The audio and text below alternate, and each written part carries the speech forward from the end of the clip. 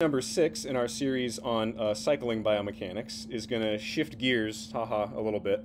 And for uh, this paper and for most of the rest of the papers in this section, uh, we're going to talk less about the biomechanics of the rider's body and a little bit more about the mechanics and the, the design of the bicycle itself and how some uh, non-traditional elements of bicycle design that deviate from the typical common design of a modern bicycle can uh, interact with the rider's biomechanics and physiology to improve uh, performance-related metrics in cycling.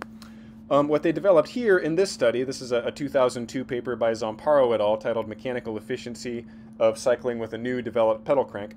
Um, what they designed here and what figure one is, is supposed to be showing. It's not maybe not uh, entirely clear, so I'll try and give you a, demonstration of, of what it's actually doing on my bike. Is on a typical bike, if I zoom in here on their picture of a bike, um, this piece in the middle here that is centered on that front chainring, um, that is the cranks of the bike. And there, we keep talking about the crank. There's actually two cranks. There's a crank on the right side which is this one pointing down here, and there's a crank on the on the left side, which is this other one uh, pointing up here. Okay, so two cranks, one for the right leg and, and one for the left leg. Um, that crank on a, on a typical bike is typically a fixed length, meaning it's just like a, a rigid piece of material, and the distance from the center of the crank axis to the pedal is just some fixed distance. Yeah, there's there's no way to change it. It's just a rigid uh, piece of material, and so that that crank length is is the same.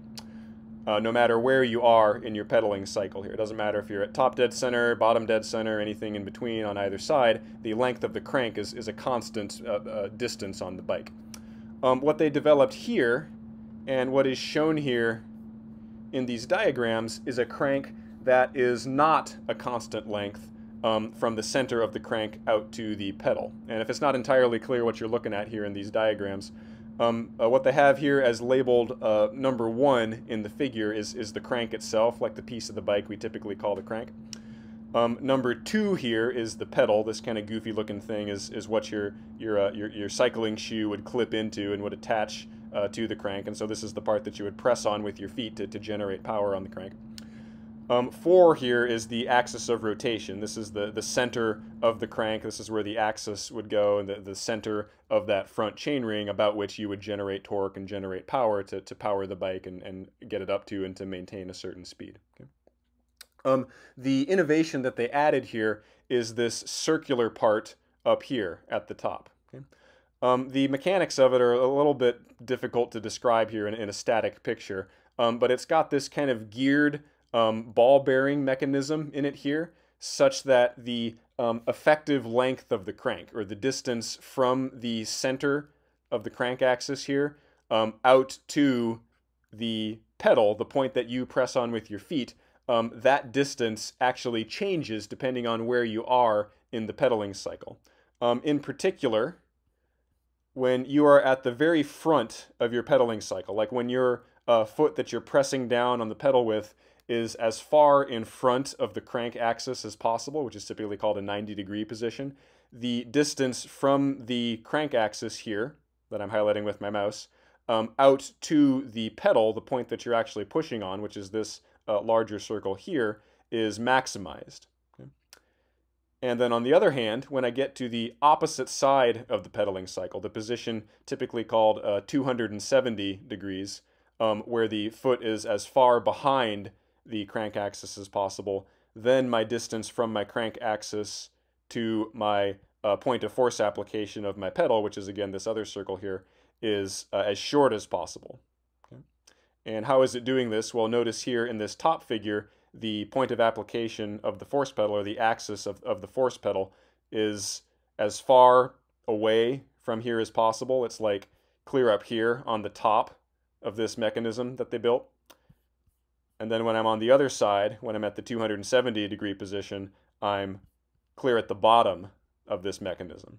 Okay? So changing the length of my crank by whatever this distance happens to be here that I'm highlighting, which looks to be ballpark maybe like a, a quarter of the, of the whole length of the crank, so pretty, pretty substantial distance. Um, changing it by, by plus or minus that much, um, depending on where you are in the pedaling cycle. Okay? Now, why is that beneficial? Why is that a helpful thing? When, when they when, when in this uh, study when they tested this crank um, at low power levels for endurance cycling, it didn't really do anything. Um, at higher power levels, specifically at the highest uh, power level they tested, which was about uh, four watts per kg. So if you go back at the previous video and look at the like uh, cycling talent and fitness levels I posted, four watts per kg was like uh, a, a very competitive uh, local cyclist. It's not going to make you like a national class rider or a pro or anything, but that's a pretty solid uh, power output for, for a distance uh, focused cyclist.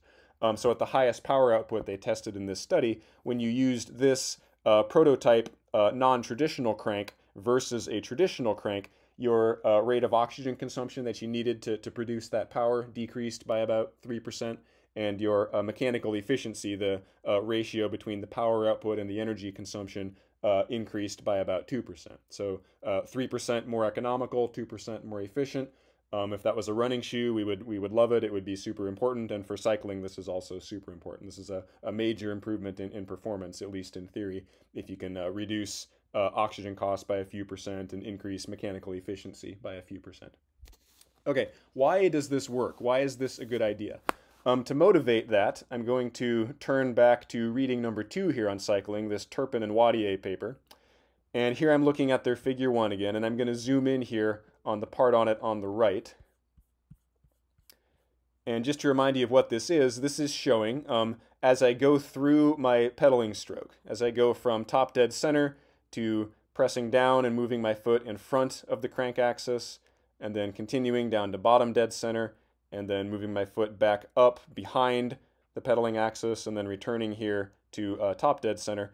Um, those little black arrows that you see there are the uh, force vectors that I'm pushing on the pedal with while I'm while I'm doing the pedaling.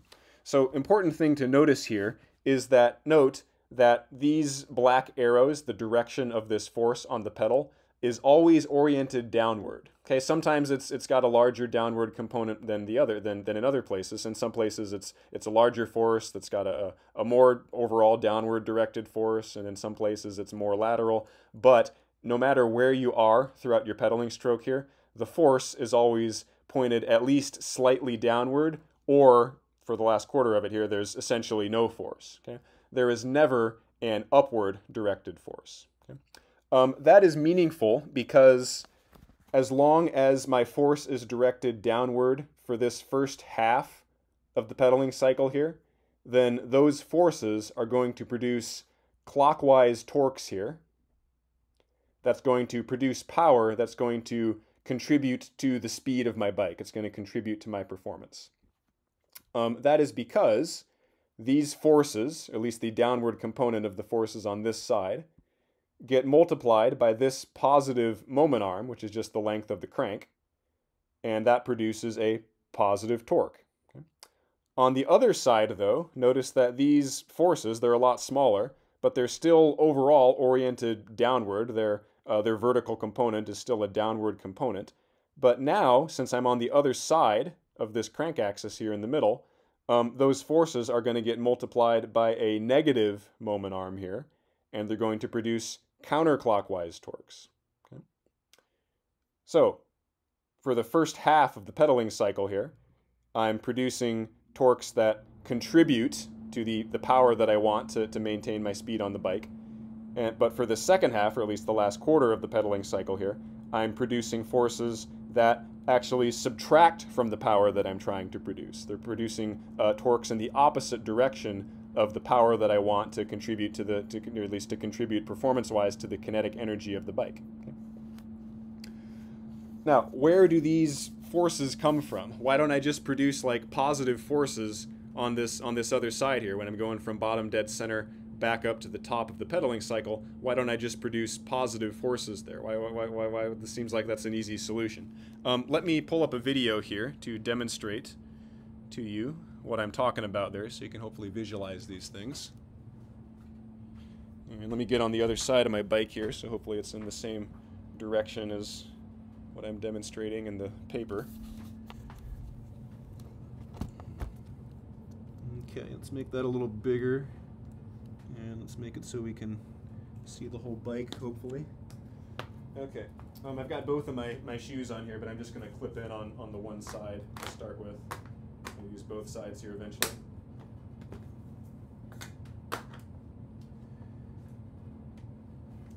Okay, and let's increase the gear a little bit, a little resistance going. Okay, so here I am doing my pedal stroke just unilaterally with my right foot, and that's all. My left foot is not connected and is not pedaling right now. Um, so you might wonder, well, I'm at top dead center here. Let's just freeze it at, at top dead center. And I contribute positively to powering the bike forward when I'm pressing downward on the pedal until I get here to bottom dead center. Okay? Then, if I want to continue to produce power in that direction, then I can't push down on the pedal anymore. Now I've got to pull up on the pedal. Okay? I've got to generate upward directed forces on the pedal um, once I get past here. Once I get past bottom dead center, I then have to pull up on the pedal and generate upward directed pedal forces to, to keep turning the crank. Okay. Um, generally, cyclists don't do that. You don't see upward directed forces in, of any substantial size in, in most uh, cyclists. And why is that? Why, why, don't cyclists pedal like that? Um, that would seem to be one of the big benefits from having these shoes here that clip onto the pedals. Like if I just have my foot here and I'm clipped out and I'm just sitting on the pedal, then I push down on it, but I'm not connected to my pedal and I can't pull up on it, right? I've got to kind of push it real hard here and ideally just through its own momentum and inertia get it back up to the top so that I can continue pedaling. Um, that's the real benefit of having shoes that clip on here, at least that's what people suspect is the benefit of having shoes that attach here rigidly to the pedals, and that now I can produce, I can get it on here, sorry, there we go. Um, now I can produce uh, torque that contributes to the power, pos positively to the power of the bike throughout the pedaling cycle. Um, in theory, you can do that, but remember we learned a few lectures ago that training people to direct their pedaling forces like that generally increases your metabolic cost of pedaling and generally reduces your efficiency of pedaling. Um, this is typically because when I'm pulling up like this, or like actively going from here up to here, I'm using uh, pretty small muscles and using them in a way that they're not typically used to being used a lot of the time. And so uh, generally producing a, a, a muscle contraction that's not very efficient. Okay? So I can actually save on some energy cost of pedaling by only ever producing these big downward forces from bottom dead center, or sorry, from top dead center down to bottom dead center here. And then at bottom dead center here, I just kind of start ramping things down and, and, uh, and just kind of flow back up to the top here. Now, how the heck do I flow? I just use that kind of unscientific term, flow. How do I flow back up to the top here if I'm not actually pulling on the pedal. It looks like I have to pull on the pedal to go from here up to here. So how the heck do I do that by not producing upward forces on the pedal? Well, that's where my other foot here comes in. So let's clip in my other foot. So notice here that whatever position in the crank cycle my right foot is in, my left foot is in the opposite side of the crank cycle. So when my right foot is in top dead center at the very top of the crank, or the very top of the pedaling cycle, my left foot is in bottom dead center at the very bottom of the pedaling cycle. This is just a, a geometric inevitability of the bike. Um, similarly, when my right foot is here at 90 degrees of the pedaling cycle, so as far in front as can be, my left foot is at 270 degrees, as far behind the, uh, the crank axis as it can be. So the reason that when I get to the bottom here, when I get to bottom dead center with my right leg, that I don't have to actually pull up to get back up to top dead center is that with my right leg here, I get down to the bottom and then I shut things down because my left leg here is now at the top. And I can get my right leg back to the top by just powering down here with my left leg, okay? So that's why in pedaling you really don't see any substantial uh, upward directed forces, even, even with clip-in shoes, um, any time throughout most of the pedaling cycle. Sometimes you might see some small ones, and some people might pedal like that, but it's generally not something you observe on average in like efficient cycling technique. We tend to only produce uh, downward directed forces on the uh, crank and tend to produce basically all of our power that actually contributes to the speed of the bike during the downstroke, which is this part, going from top dead center here to bottom dead center.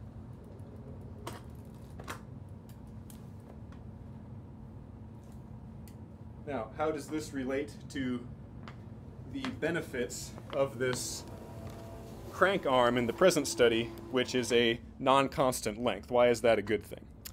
Well, let's return to our drawing here of pedaling forces and see if we can illustrate it there. So what's happening here is, like I said, when I'm producing these downward forces from top dead center all the way to bottom dead center, so kind of like the front half of my, my pedaling cycle, um, those downward forces, or the downward component of those forces, get multiplied by this moment arm here, the length of the crank essentially, and that product is the torque that I produce about the axis here.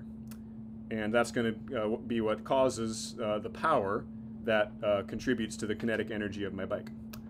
So while my right leg is here at 90 degrees, for example, producing this little downward force that's going to produce a positive power about my crank axis here, my left leg, because of the geometry of the crank, I'm always pointing in opposite directions, is going to be over here at 270 degrees and is going to be producing this little downward force here.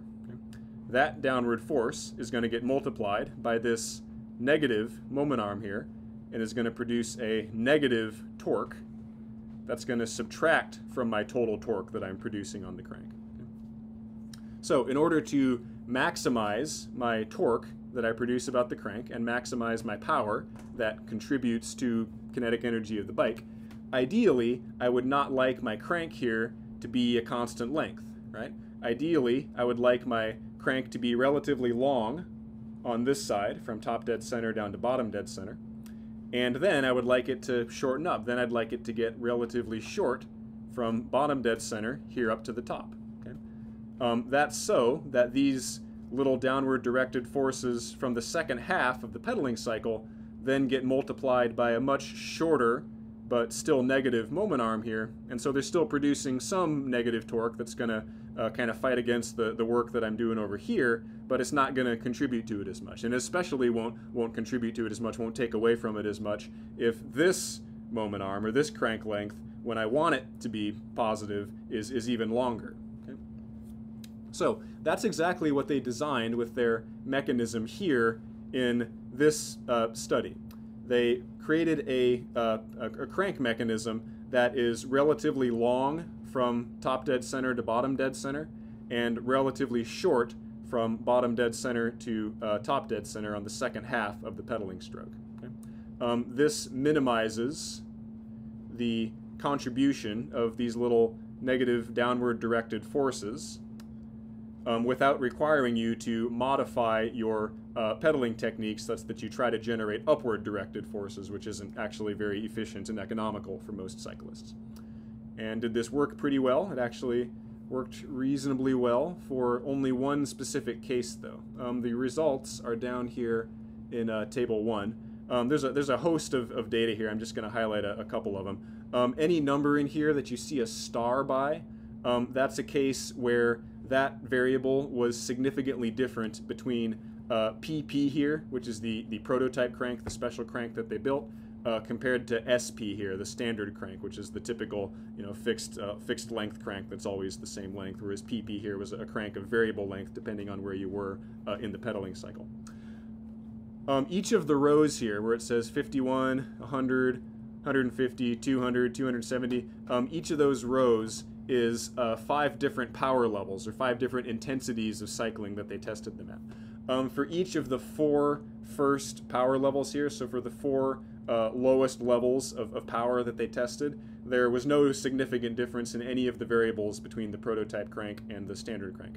Um, however, at the highest power level, which was about uh, 270 watts, which for these cyclists was uh, a little bit under 4 watts per kg, which is which is pretty good. If you're a 4 watts per kg cyclist, you'll be pretty competitive on, on your local scene, unless your local scene is, is unusually competitive. That's that's a decent power output for a cyclist.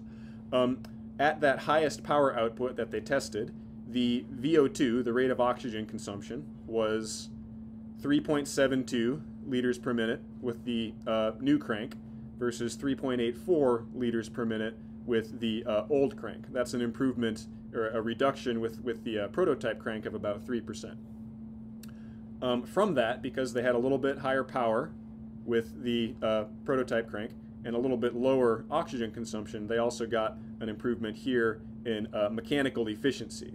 Was about 23.4% with the special crank versus about 22.1% with the uh, uh, the standard crank, and that's that's about a two percent in uh, improvement in uh, efficiency. Two, not not actually like two percent in terms of the uh, difference, but uh, two the, the prototype crank was two percent of of the efficiency of the uh, original crank more efficient, right? Like if you take the difference between 23.4 and subtract 22.1 and then divide by 22.1, it's about about 2% higher. Not not adding 2% to the efficiency, that would be remarkable, uh, but about uh, 2% of the original efficiency of the original uh, crank, if that if that makes sense. So about a 3% improvement in oxygen consumption and about a 2% improvement in uh, mechanical efficiency of, of the pedaling stroke. Um, again, are those meaningful? Is that large improvements in uh, these kind of metrics for cycling? Uh, yes, those are substantial improvements. They, they estimate here in the abstract that um, if a cyclist was able to maintain uh, those benefits over a whole hour, like if you're going for the uh, the, the uh, cycling record where you try to pedal as, as far as you can in one hour, which is a well-known record in cycling. Um, with those improvements, you could go about one kilometer further during that hour, which which would be a, a remarkable improvement. Like if somebody went out tomorrow and broke the one-hour uh, cycling record by a kilometer, they, they would have completely smashed that record. That's that's that's a remarkable uh, improvement on, upon that record. That's that's a very big jump. Okay, um, next time you see some bikes out in the wild, um, see take a look at people's cranks and see if they look more like the crank that uh, I was showing on my bike, a standard crank, or if they look more like this with this goofy looking uh, kind of gear, little gearish mechanism tacked onto the end of the crank there. Um, I guarantee you probably won't see any cranks that actually look like this. Um, couple reasons for that. Um, this is probably heavier than a standard crank, and that's not a big deal when riding over level ground, but climbing uphill, cyclists who are interested in performance like avoid weight like the plague. Like adding extra weight to your bike is, is a death sentence if you're trying to, to climb up a hill at max effort. Um, this would also be uh, much more expensive to uh, machine and, and to make than a standard crank and the uh, the cycling industry not not like the cycling the sport like the athletes but cycling the the business like making and selling bikes and and uh, parts and accessories for bikes is an extremely competitive industry. There's a lot of vendors in it um, a lot of uh, big name well known well established brands that are very competitive with each other. Um, the margins in terms of like how much profit they make on on a sale of a bike or on most equipment is is pretty narrow. They don't make a huge amount of profit on most sales because it's so competitive and they're trying to keep costs down. And so that's, I think, a big reason why you don't see a lot of innovations like this uh, manifest in actual uh, commercial bikes that you can actually buy at, at a bike store from a bike vendor. Uh, they're just simply too expensive, even if they are, uh, can, or even if they can be made in a way that doesn't add any substantial weight to the bike, which, which I suspect this one might. So, an interesting engineering development here, but if you wanted to uh, produce this in an actual bike, you would have to consider things kind of outside the uh, performance aspect of it in terms of is it going to add too much mass to the bike and, and take away uh, from my performance when I'm going uphill, which is often when, when long races are determined who's the best climber, um, or is it going to be too expensive to, to actually make and, and sell for a reasonable profit? Okay, that is it for today.